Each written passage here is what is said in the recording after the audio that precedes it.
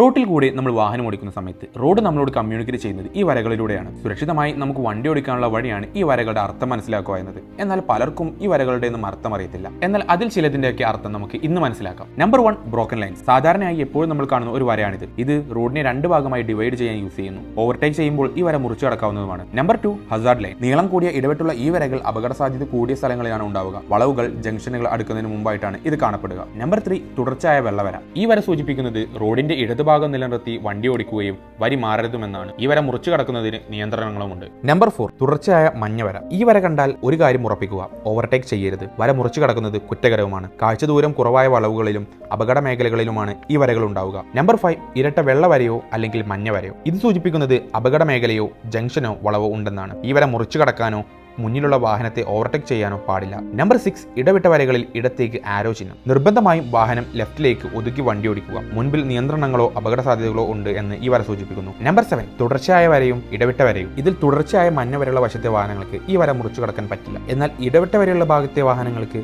അവരുടെ വര മുറിച്ചു കടന്ന് വാഹനം ഓടിക്കാവുന്നതാണ്. നമ്പർ എയ്റ്റ് സീബ്ര ക്രോസിംഗ് ഇതറിയാത്ത ആരും തന്നെ ഉണ്ടാകില്ല. കാൽനട യാത്രക്കാർക്ക് സുരക്ഷിതമായി റോഡ് മുറിച്ചു കടക്കുന്നതിനാണ് ഈ സീബ്ര ലൈനുകൾ നൽകിയിട്ടുള്ളത്. വേഗത കുറച്ച് വേണം ഇതിലൂടെ വാഹനങ്ങൾ കടന്നു പോകാൻ വീഡിയോ നീണ്ടു പോകുന്നതിനാൽ ബാക്കി അടുത്ത പാർട്ടിൽ പറയുന്നതാണ്. ഇതരത്തിൽ നിങ്ങളുടെ ഫ്രണ്ട്സിലേക്കും ഫാമിലീസിനും ഈ വീഡിയോ ഷെയർ ചെയ്യുക. കൂടുതൽ ഇൻഫോർമേറ്റീവ് വീഡിയോകൾക്കായി നമ്മുടെ ഇൻസ്റ്റാഗ്രാം പേജിൽ ഫോളോ ചെയ്യുക.